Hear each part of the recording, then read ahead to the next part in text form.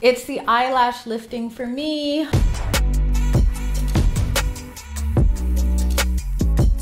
Hey loves, Alisha here, back on your screen with another one. It's been a minute since I've done a podcast favorites video, so I'm back with an updated 2021 faves. Here are my top 21 favorite podcast, which is crazy to say because I probably listen to a good 100 pods. Like, there's a lot out there. I have a lot to share with you on this list, so let's get right into it. Let's start from the top. Let's go on Spotify and go with 10% Happier. This one is my everything. I listen to it religiously every single week. On Fridays, they have a guided meditation with a guest, which is just the perfect way to ease into the weekend.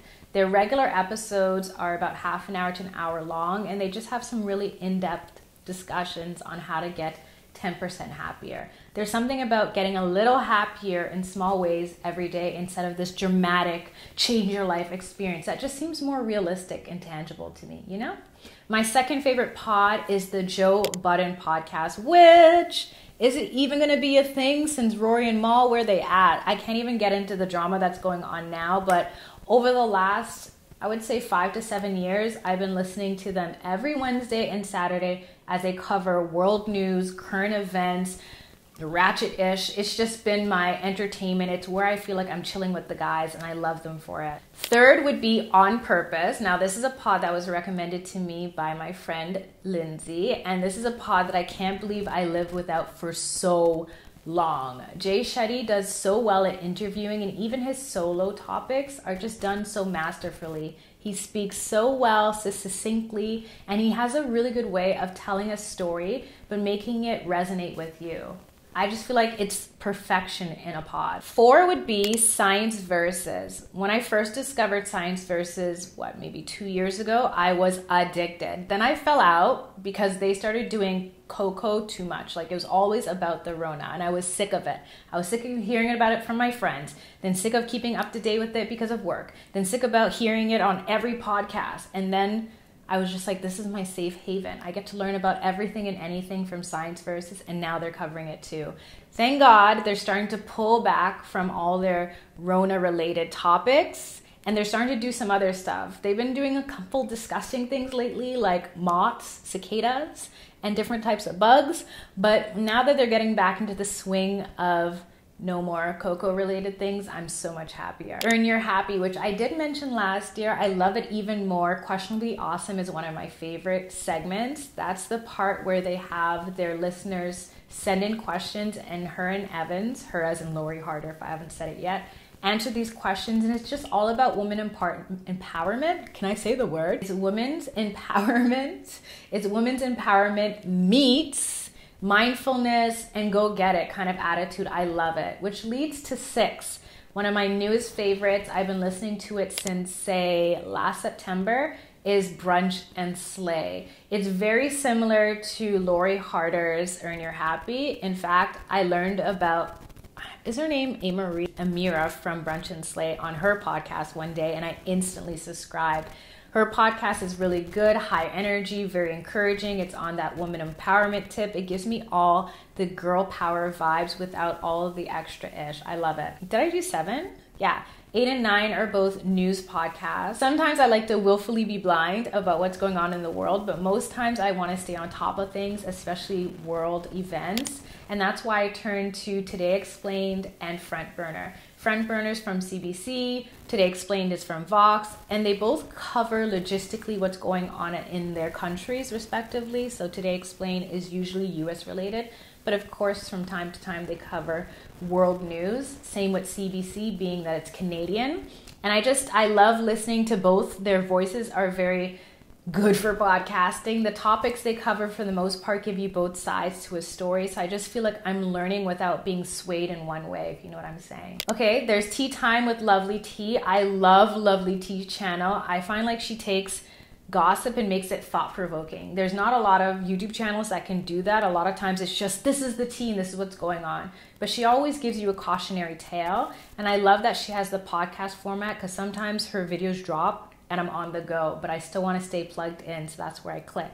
Let's switch over to Apple Podcasts for a minute because there's three on there that I really love. Actually, more than three.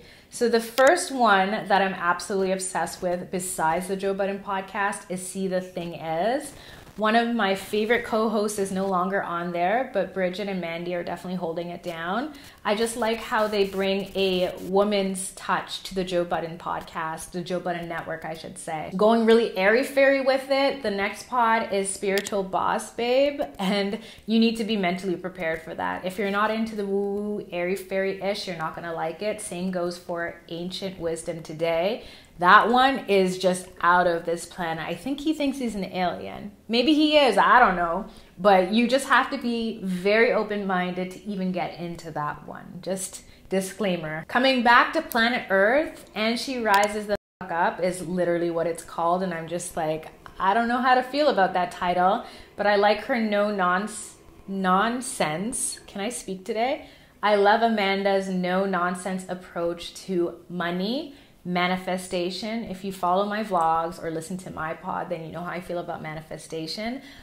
With that said, I can still find a couple gems and major keys in this pod that I think is going to help me, not just for money manifestation, but just for how I look at and see things, you know? That I fell off of, but definitely to get back into. This carried me through the first half of quarantine and chill was coffee break French. So a lot of you don't know, but I used to be bilingual. Used to is the very prominent word in that sentence because my French is very bad.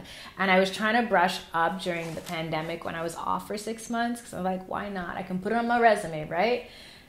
That didn't really help, but it was really good to listen to the narrative en, en français, s'il vous plaît, and just kind of get back into that world of the love of languages. Is my French any better? I can't lie. Nope it is not. But it was just something good to kind of. I almost played school. It'd be like in the morning time, I'd have my croissant and my latte, and then I'd listen to half an hour coffee break French, and I felt already ready to conquer the day of nothing because there was nothing going on during my quarantine.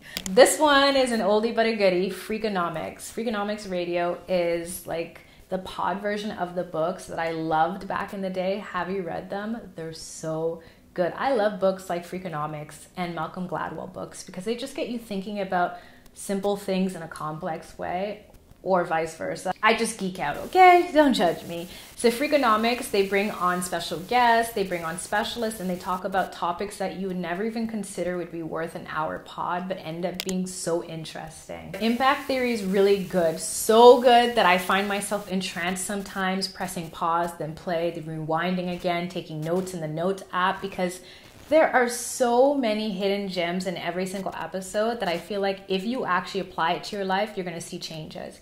Maybe not overnight, but you will definitely see changes. 10 out of 10, highly recommend. If you're not about news or geeking out, you just want a good laugh to chill with the girls, the Receipts podcast is what you need to tune into.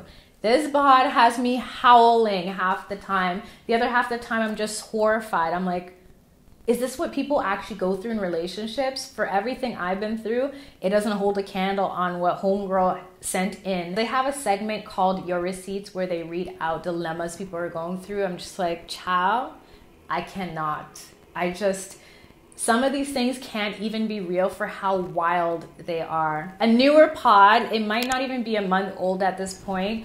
It's called Unexplained. It's very similar to Today Explained, but they talk about the most random things they spend an hour and at the end it's still not explained, which is why it's called unexplained. But I love it so much because it talks about why you smell things, but it's not the same as when you hear or see things. There's not receptors necessarily for a certain type of scent. So, how do we all smell the same thing or distinguish it? It's just, I love science. So, for me, it's just something that gets my mind thinking, especially when I'm doing redundant things.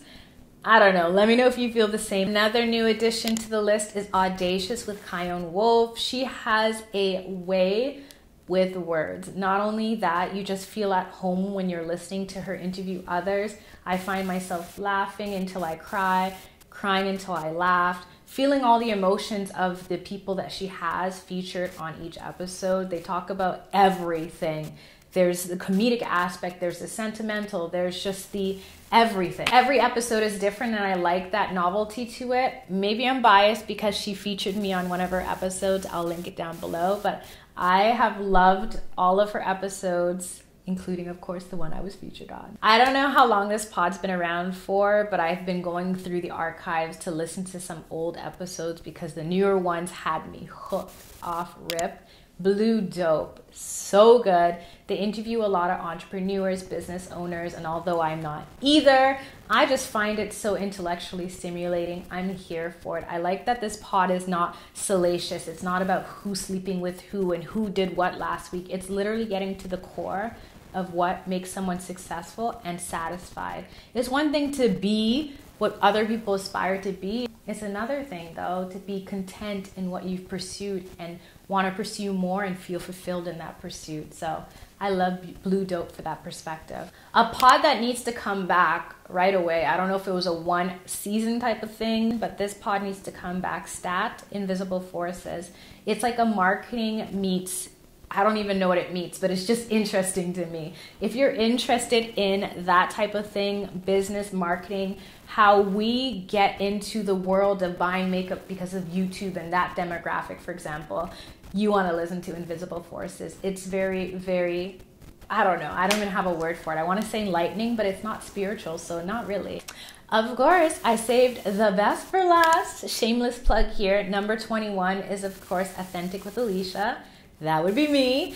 This is a podcast that took me months to create, and I don't have any regrets. I am happy I created it during this Rona life we've been living on lockdown. I just feel like it was a perfect outlet in addition to talking to my YouTube fan. I get way more authentic with it. We talk about things other than Life Legally Blind, which I feel like my channel is mostly about nowadays. I just, it's not just a creative outlet for me. I get to speak more freely about topics. I've talked about trending things, I've talked about esoteric things, I've talked about spiritual things. I've even gone against the law of attraction with who would ever do that? Since everyone I know is so big on LOA, I'm the only person. I'm a man alone or woman. Woman alone on an island. Why is this saying a man alone on the island? Anyway, if you want to hear from me, if you want to hear how my mind works and hear some story times about my life and what I've learned, and hopefully it helps you out too, listen to the Authentic with Alisha pod, found everywhere you hear podcasts. So that's my 21 top 21 podcasts. I hope you enjoyed this video. If you did, let me know by hitting the like button. Comment down below what your favorite podcasts are. Definitely check out mine if you haven't already. If you have, let me know what your favorite episode is so far. Mine still stands to be my second one, which was expectation versus reality. And as always, thank you so much for hanging out with me. Until next time, stay safe, stay sane, stay blessed. Love and later.